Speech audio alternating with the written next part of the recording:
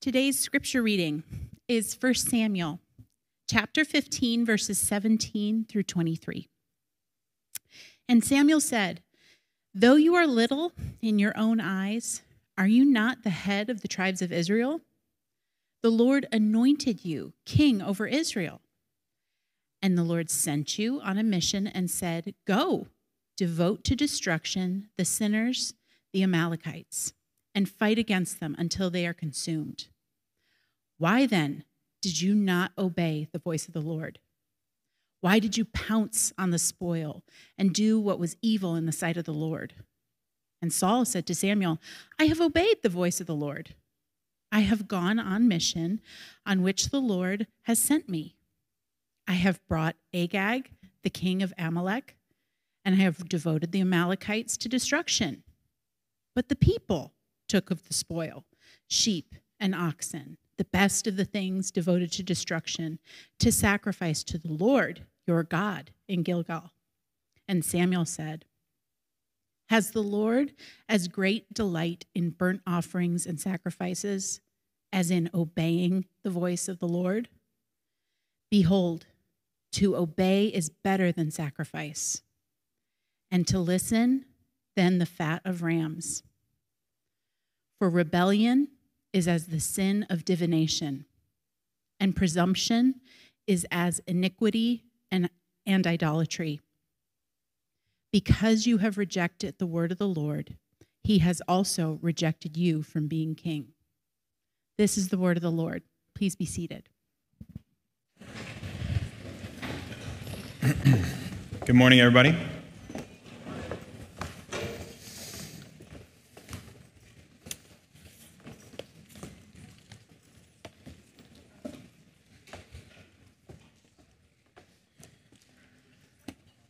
Have you ever flipped on the TV or scrolled through a social media feed and you caught a glimpse of a clip of a movie or a show and it was just totally out of context? This past week, uh, I was watching uh, a clip of a movie on YouTube, and it was clear that this movie was made in the 60s. It was a woman, she was an older woman, and she was dressed all in black, a black dress. She had a black hat on she had a black veil, and she was walking up the steps of her home, which was enormous. It was like a palace of a house. And she gets inside, and she's inside her living room, which is more like a parlor. I think that's what you call it when a house is that big, right? Uh, and there's a man who's sitting in an armchair with his back to her. And he says something to her, and he stands up, and he turns around, and he starts to walk toward her. And he's, he is speaking quietly to her. It seems like she's shocked that he's there, but she has an idea of who he is. She understands that this, she recognizes him, right? This is somebody that she's met before. And as he walks over to her and he's speaking to her quietly, mid sentence, pow!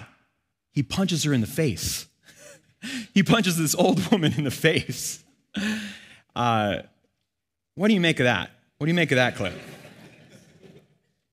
See, we make assumptions, I think, immediately about the plot of that movie, about the characters, about who the hero is, about who the villain in that scene is, right? Clearly, this woman is an innocent victim.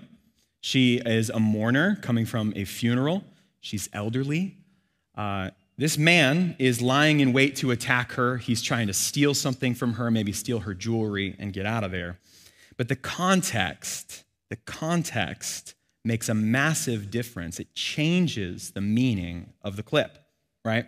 See, if we knew the plot, if we knew the characters, we would understand much better what's actually going on. The man who's sitting in the chair is none other than an English MI6 agent named Bond. James Bond.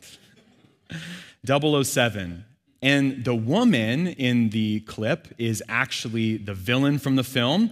He's dressed up, he's put on some amazing technological mask to make him look like an old woman.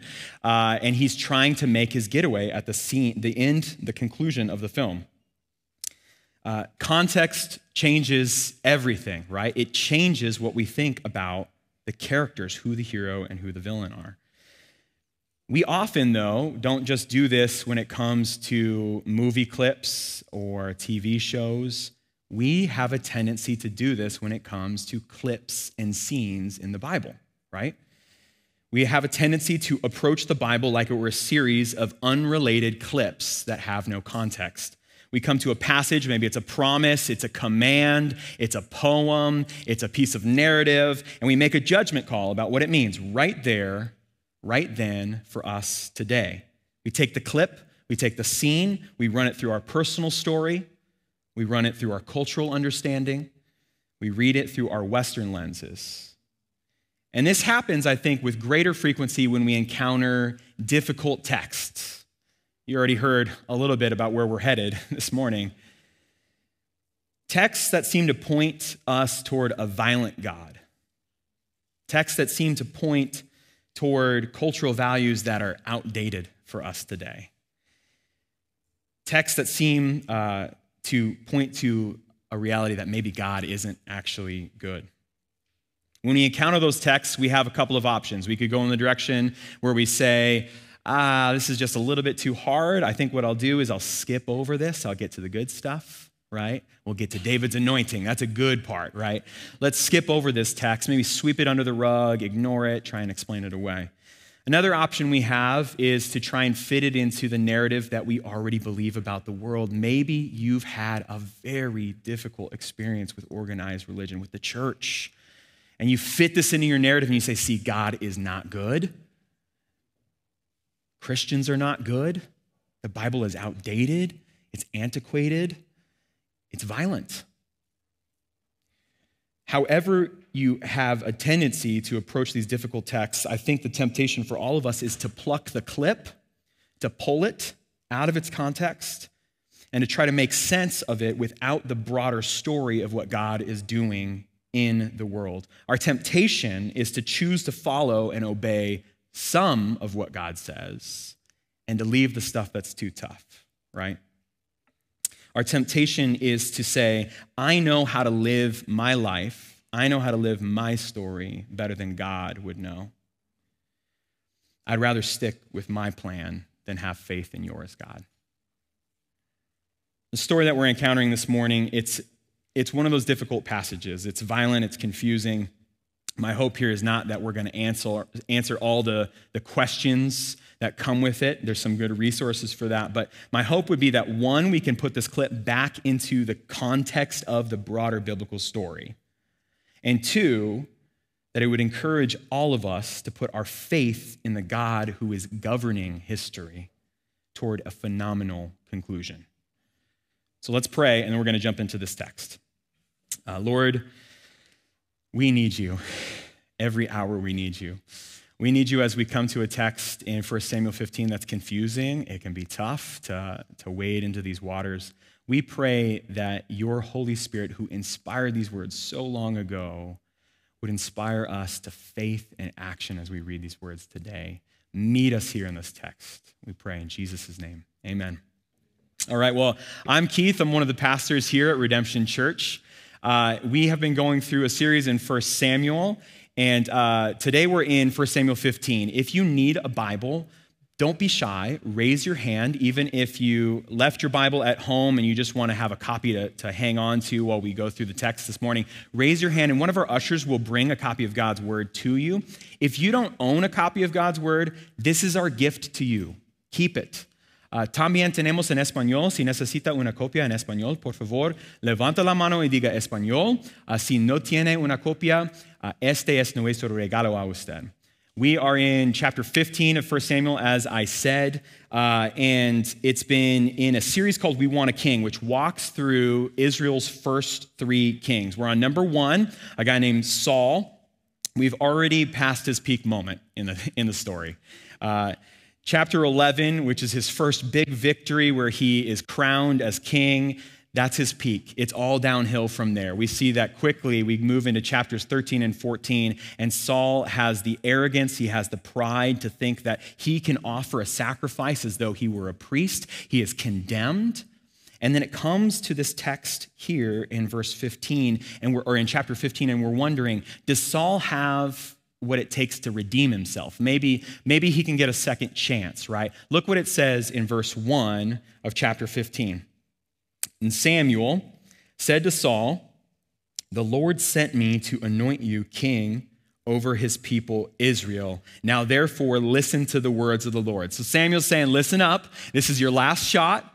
Listen and obey. God is going to speak to you. You got one more shot here. Is Saul going to live up to this challenge?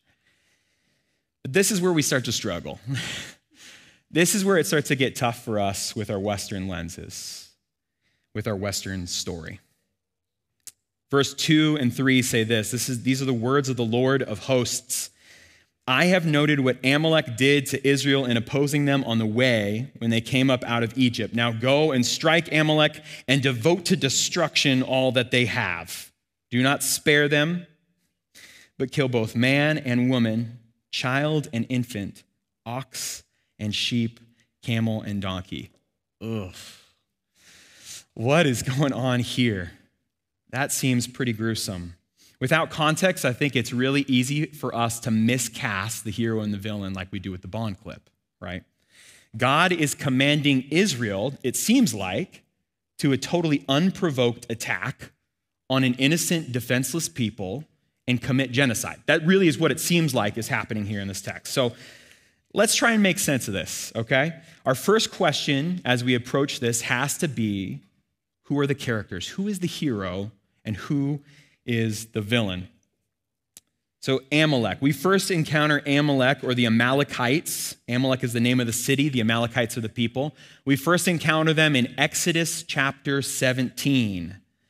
And this is a story where the people of God have been delivered from Egypt. Remember, they were in the yoke of slavery. They had been enslaved for 400 years by the Egyptians. And God sent Moses as a deliverer, and he delivered them out of Egypt. They go through the Red Sea. They're free from their bondage, but now they're in the wilderness. They're in the desert, right? Um, they've departed Egypt, but now they're defenseless. They're unshackled from their chains, but now they're unarmed. They're tired. They're hungry and in step the Amalekites. They see their opportunity to strike. They surround the people of Egypt on all sides, and it says that they attack them in an unprovoked manner. Now remember, the people of Israel, they are not trained for combat. They were brickmakers, they were slaves. They don't even know how to make weapons, let alone have weapons with them. They're utterly and totally defenseless. They don't have an army to protect them. This is men, women, and children who are being attacked without warning, without being provoked. So Amalek's goal is clear to pillage and plunder and rape, to steal and kill and destroy. They want to conquer. God, however, steps in. And the story goes that Moses, whenever he lifts his hands in the air, uh, the Israelites win the battle, but whenever his hands fall down, they start to lose the battle. And so two of uh, Moses' men hold his hands up and they end up winning the battle. But it's miraculous. It's a miraculous victory. They're not soldiers. God wins the battle for them. But we read that in Numbers and Judges, the Amalekites do not change their ways. Even though they've been defeated in this battle, they continue the pattern of unprovoked attacks against their defenseless neighbors. And God, even though he wins the victory, says, I will remember their war crimes. I will remember what they did to my people as they came up out of Egypt. But what about Israel? I mean, surely hundreds, hundreds of years have passed now. Aren't they a well trained militia now? Well, no. Remember, two chapters earlier, what happens is uh, they're trying to organize their army, and they say that there's only two men in the entire nation that have swords it's Saul and Jonathan. Okay? So this is not a well organized militia. Uh, this is not the story of the playground bully Israel going to beat up the innocent kid Amalek after school. This is the story of God coming to the aid and the rescue of the kid that's always getting bullied. The next question, then, that we have to ask about this passage is about the language of it, right? What does devote to destruction really mean? Because that's really tough for us when we read that today. Josh Butler, who's the lead pastor at Redemption Church Tempe, he wrote a great book called The Skeletons in God's Closet, like God has skeletons in his closet. Um, it's a great resource. I would recommend it. I'm pulling a lot of information from there. Um, but what he calls this is he calls it ancient trash talk. Ancient trash talk. So imagine with me, this might be hard to imagine. Uh, the U of A this fall is so good at football that when they play ASU uh, in the fall, that they win such a decisive victory, right? They just absolutely dominate them. don't boo me. They don't they dominate them, right? And then after the game they interview some of the players and the players are like, "We destroyed them. They couldn't get anything past us, right? They couldn't get a single first down. They never moved the chains." We hear that and if we're interpreting that literally, we're thinking, man, the score was 84 to zip, right? They couldn't move the ball a yard. It was absolute domination. But would you be surprised? Would you call them liars if the final score was 77 to 7? Sorry, Elliot. uh, would, would that be a lie if the final score was 77 to 7? ASU scored a touchdown. They said that they couldn't get anything past them, right? No, we wouldn't call those players liars we would say that they're trash talkers, right? They're talking trash. And that's exactly the same thing that's happening here in the ancient context. Ancient armies love to talk trash about how they dominate in victory. I'll give you a couple examples here. This is from Paul Copan. He wrote a great book about this. Uh, he says uh, Egypt claimed in a great battle of the 15th century BC that they annihilated totally the great opposing army of Mitanni within the hour, exter- within the hour, exterminating them fully to make them like those not existent. In actuality, however, the great army of Mitanni continued to fight on and cause Egypt trouble for more than a century to come. They didn't wipe them out, they didn't annihilate them. Let's skip to the Moabite example there, Mike. The Moabites beat Israel in battle in the 8th century BC and made the outrageous genocidal claim that as a nation, Israel has utterly perished for always. In actuality, however, Israel lived on as a sovereign nation for a long time to come. This was simply a declaration of victory in battle. What we see here in this language of devote to destruction, even in a command, it's ancient trash talk. Go win and win in a decisive manner. But what about all the innocent civilians in the city? That's a good question. We have to engage in that one. Cities in the ancient Near Eastern context are not like the cities we think of today in our Western story. We think of the city of Tucson, we think of Safford School, we think of Banner Hospital, right?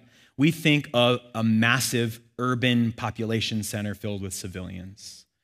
That's not what a city in the ancient context was. A city in the ancient Near East was actually more like a fortress, a military stronghold. Here's what Copan says about Jericho and Ai, two of the most famously destroyed cities from Joshua. He says this All the archaeological evidence indicates that no civilian populations existed at Jericho, Ai, and other cities mentioned in Joshua. Let me just say that again all the archaeological evidence indicates that no civilian populations existed in these cities.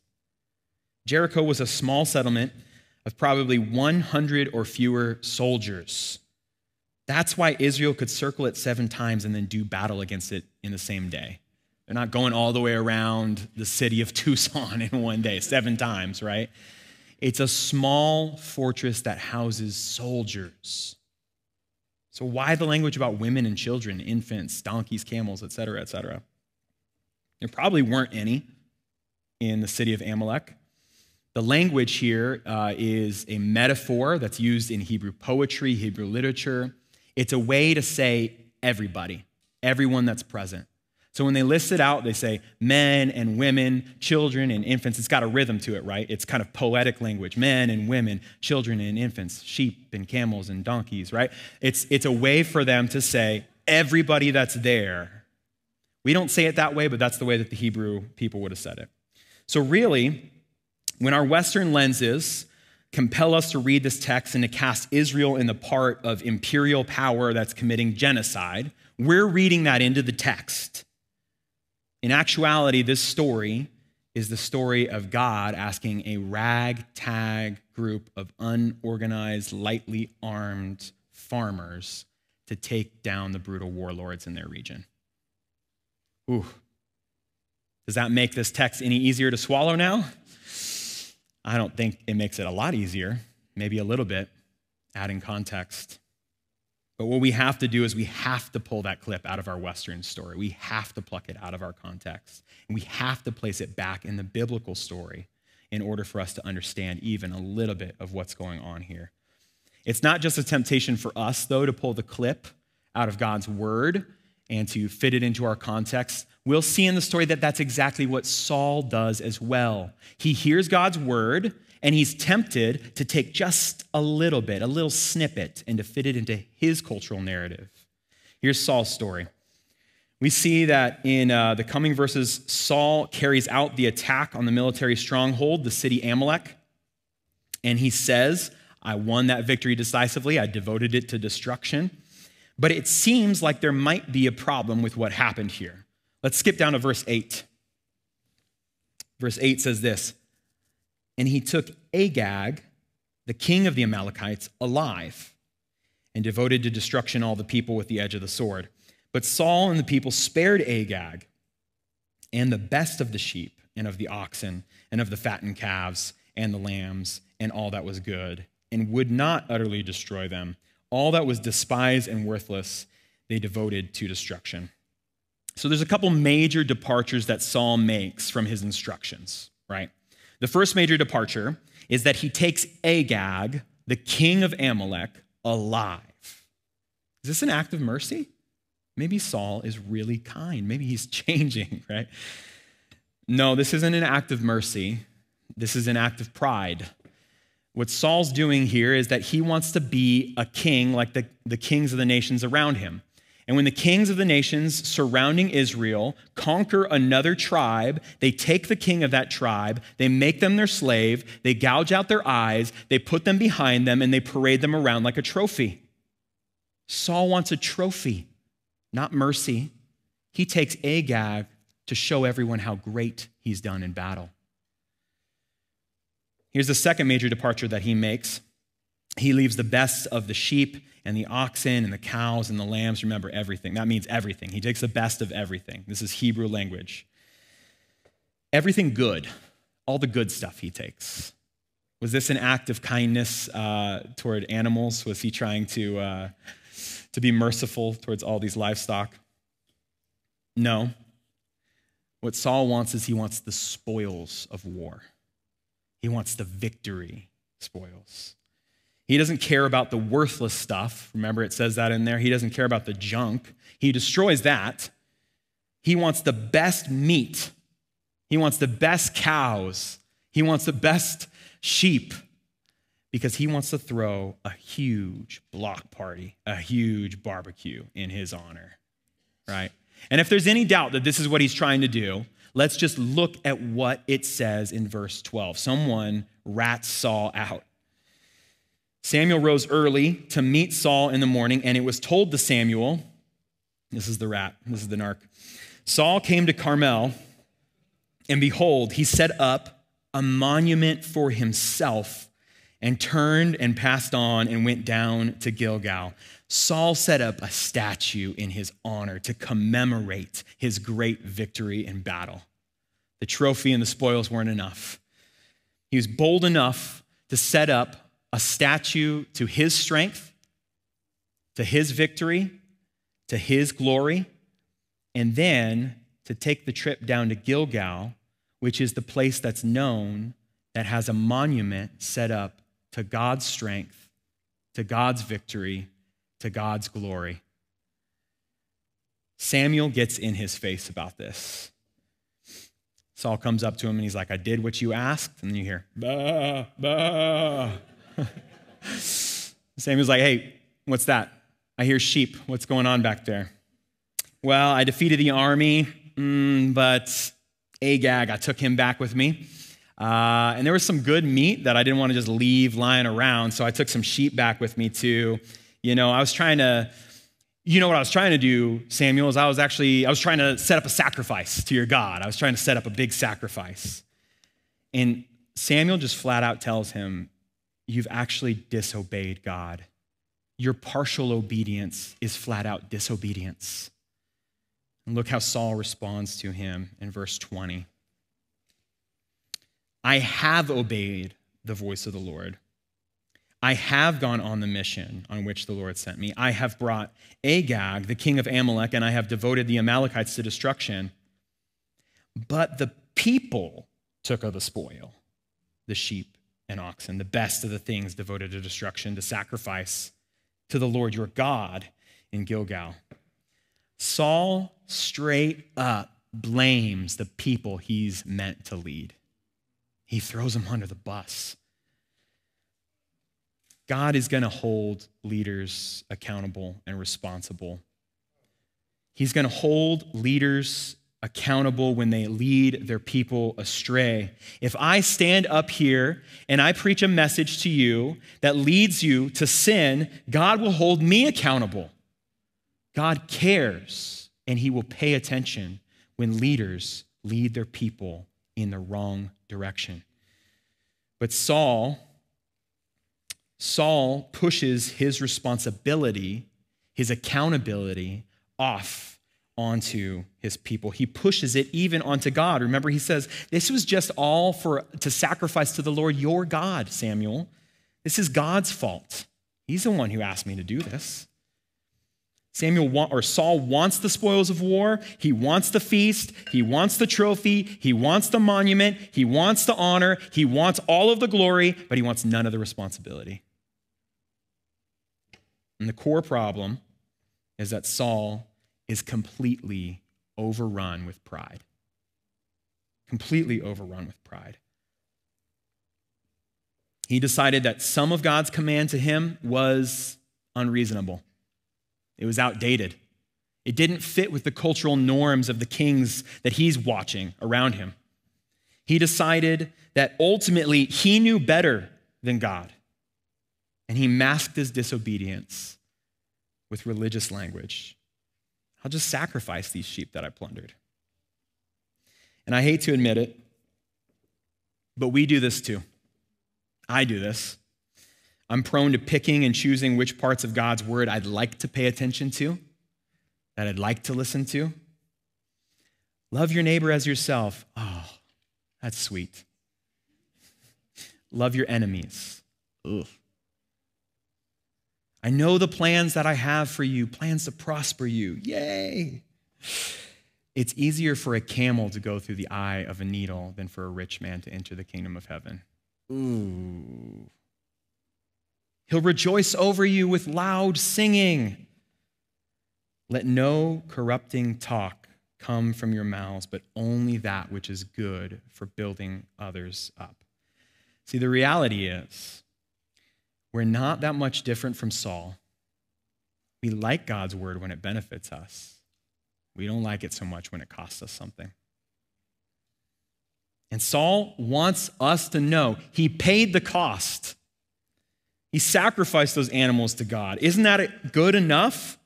Look what he says in verse 22, what Samuel replies to him. He says, Has the Lord as great delight in sacrifice in burnt offerings and sacrifices as in obeying the voice of the Lord? Behold, to obey is better than sacrifice. Listening is better than the fat of rams. Obedience is better than sacrifice. And in this case, obedience was actually more expensive to Saul than sacrifice. It cost him something.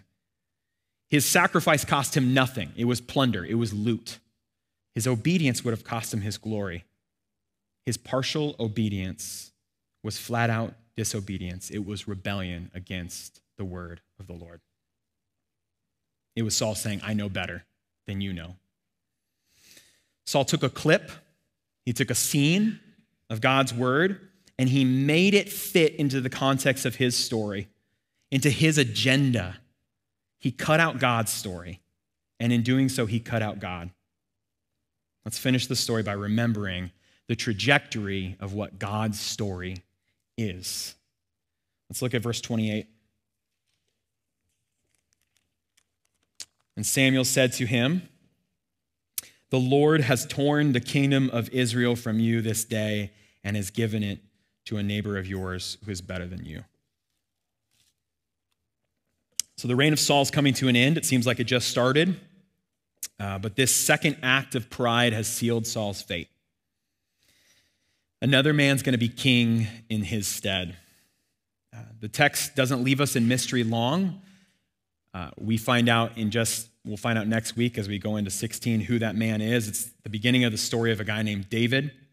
But the trajectory of God's story points us further. It points us beyond David. It points us to another king.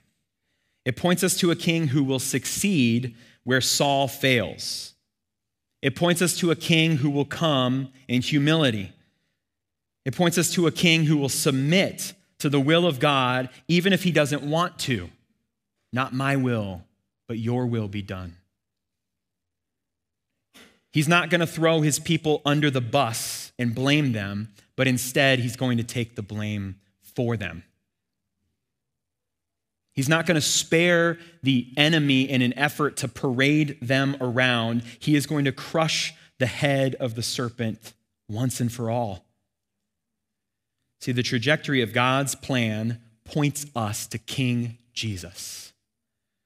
The story of Saul's failures ought to drive us toward the story of Jesus' victories.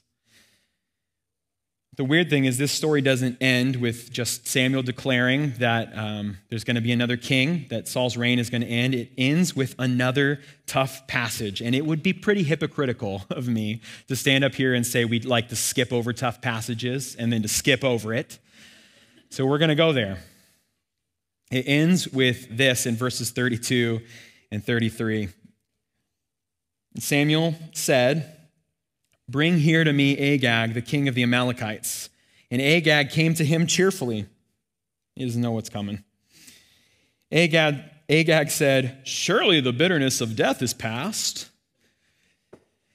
Oh, and Samuel said, As your sword has made women childless, so shall your mother be childless among women. And Samuel hacked Agag to pieces before the Lord in Gilgal. Woof. Why does the story end here? It reads like some gruesome chapter from like a Game of Thrones novel or something. The reason it ends here is because the trajectory of God's plan points us to a final day that will be free from injustice. That's why it ends here. See, Agag is a warlord. We have to remember who the characters are. Agag has probably hacked his fair share of people into pieces. Samuel declares that there are many women who have lost their children at the hands of Agag, the warlord. God hears the cries of the oppressed. God hears the cries of the murdered. Agag's sword cannot silence them. God has a plan to rid his kingdom of injustice forever. The trajectory of God's plan points us to a final day, a last day, when no injustice will remain in his kingdom. God's plan, the trajectory of God's plan, points us to a final day when he will banish oppression for good. The trajectory of God's plan points us to a final day when the curse of sin, the curse of death, the curse of evil will be done and dusted. And when that day comes, and it will come, King Jesus himself will close the book on bullying. King Jesus will close the book on unprovoked attacks. He will close the book on racial hatred and injustice. He will close the book on murder. He will close the book on war crimes. He will close the book on genocide. Jesus will have the last word, folks. That's good news. Here's the last word that he's going to have. Revelation 21 5 says this He who is seated on the throne, remember, this is the king, this is King Jesus. He says, Behold, I am making all things new. He also said, Write this down, for these words are trustworthy and true. After King Jesus frees the world, rids the world, cures the world from injustice and oppression and evil, he's going to sit down and begin the business of making all things new, making all things good again, fixing everything that's broken. And he asks one thing of us Will you and I believe and trust that his plan is trustworthy and true? That's what he asks of us. So I will leave you guys with this question Which story will you live in this morning? Let's pray. King Jesus, come soon. The world is filled with injustice. The world is filled with uh, hatred, it's filled with pain, it's filled with the curse of sin, and we cannot wait until that final day that you come to free this world from its bondage to sin and injustice and evil. Come soon, Lord Jesus. We're so thankful that you are not a, a king like Saul that desires to lift himself up to show the world how great you are in a way that um, is just to take of all the spoils, but you lift yourself up to show the world how great you are so that we can come freely to you. Jesus, we pray that many would come freely to you. Thank you for taking the blame for us. Thank you that you are a better king, that you are the true king, and that you will sit on your throne and reign over this earth forever and ever. In your name we pray. Amen.